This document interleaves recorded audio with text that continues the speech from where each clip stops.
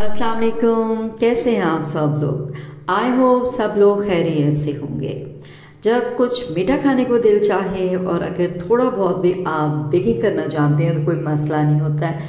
अब झट से घर में कुछ भी तैयार कर सकते हैं। तो चलें आज मैं आपको एक बहुत ही इजी सी रेड वेलवेट केक की रेसिपी बताती हूँ, जो आप बहुत ही आराम से, आसानी से घर में रेडी कर सकते हैं। सब कुछ आपको तमाम जो क्वांटिटी है स्पून में और आपको मैं कप्स में हमेशा बताती हूँ।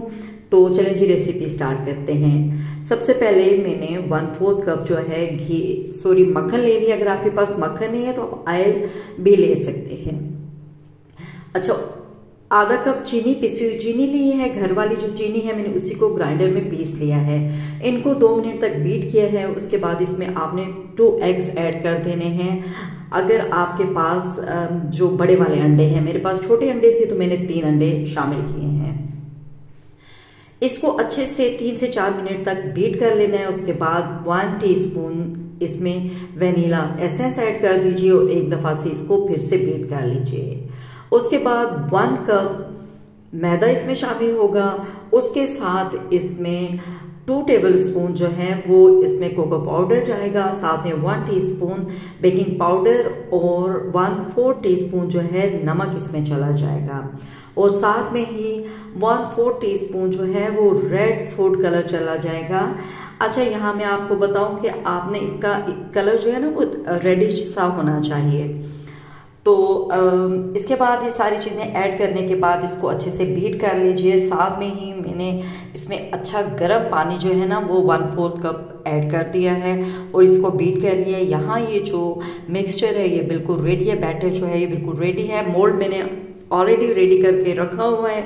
इसमें सबसे पहले आई लगा के ऊपर मैंने मैदा चढ़क दिया था और उसके बाद इसमें मैंने बेकिंग पाउडर लगा सॉरी बेकिंग बटर पेपर लगा दिया था। और उसके बाद ये जो बैटर रेडी हुआ है वो इसमें डाल दिया और 30 टू 35 मिनट के लिए 180 डिग्री में प्री हीटेड अवन में मैंने इसको रख के बेक कर दिया है। ज़बरदस्त किस्म का बेक हुआ है और अभी एक कप जो है विपिंग क्रीम लेकर इसको इतना बेट करना है कि इसकी अच्छे से इसकी पेक्स बन जाएँ। यहाँ क्रीम जो है वो आ, मैंने फ्रीज़र में रखी हुई थी और बहुत अच्छे से बड़ी आसानी से ये बीट हो चुकी है।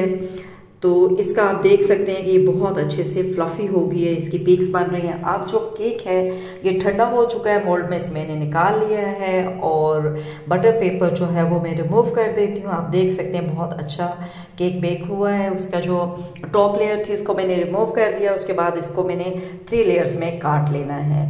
तो आप देख सकते हैं कि कितनी अच्छी सी ये लेयर्स जो है आराम से कट रही हैं और तीन लेयर्स जो हैं, ये कट चुकी हैं। तो अभी हमने दूध जो है बिल्कुल ठंडा दूध जो है वो इसके ऊपर मैंने ऐड डालना है। अगर आप चाहें तो शुगर सिरप भी तैयार करके रख सकते हैं, वो इसके ऊपर डाल ले सकते हैं। और उसके साथ विपिंग क्रीम जो विप की है, वो इसके ऊपर डाल देनी है। अब यहाँ आपकी अपनी चॉइस है कि आप अगर ज़्यादा विपिंग क्रीम डालना चाहें तो आप ज़्यादा डाल सकते हैं। मैं थोड़ी कम डाल रही हूँ क्योंकि बहुत ज़्यादा मुझे पसंद नहीं है। इसके ऊपर बाद में जो हम इसको डेकोरेट करते हैं, उसमें भी विपिंग क्रीम काफ़ी ज़्यादा जाती है तो अंदर में बहुत कम लगा रही हूँ। ठीक है जी तो विपिंग क्रीम यहाँ हो गई है second layer baby third layer baby पहले हमने ये चिल्ड मिल्क इसके ऊपर डाल देना है और उसके बाद ये क्रीम जो है इसको लगा देना है और नाइफ की मदद से आप देखें, बहुत ही आसान सा तरीका है जो आप में से हर कोई घर में बना सकता है। नाइफ की मदद से ही इसको मैंने पहले थोड़ा सा नीट कर दिया है और उसके बाद आप इसी जो नाइफ है, इसके मदद से ही आप इसको पूरा आप डन कर सकते हैं, ठीक है? तो बस इसको मैंने साइड से भी थोड़ा नीट कर दिया है और जो केक का मैंने टॉप लेयर उतारी थी, उसको मैंने क्रश कर लिया और साइडों पे मैंने वो डाल दिया ठीक है?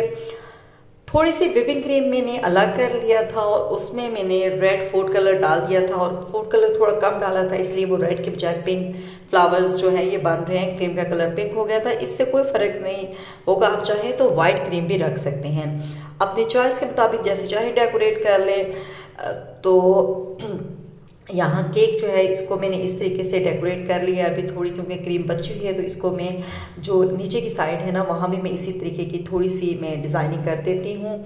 और उसके बाद आप देखें कि ये बेहतरीन किस्म का जो है ना केक रेडी है। आपने इसके को कम से कम भी तीन घंटे फ्रिज में रखना है और उसके बाद आपने इसको सर्व करना है। इतनी इजी इतनी ज़बरदस्त रेसिपी आपने इसको ज़रूर ट्राई करना है और रेसिपी को अपने फ्रेंड्स के साथ शेयर भी ज़रूर करना है चैनल को सब्सक्राइब करना है वीडियो को लाइक करना है, अपना बहुत सा ख्याल रखना है। अल्लाह